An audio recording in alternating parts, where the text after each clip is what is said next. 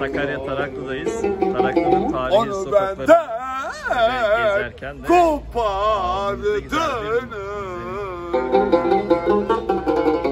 Onu benden ayırdın.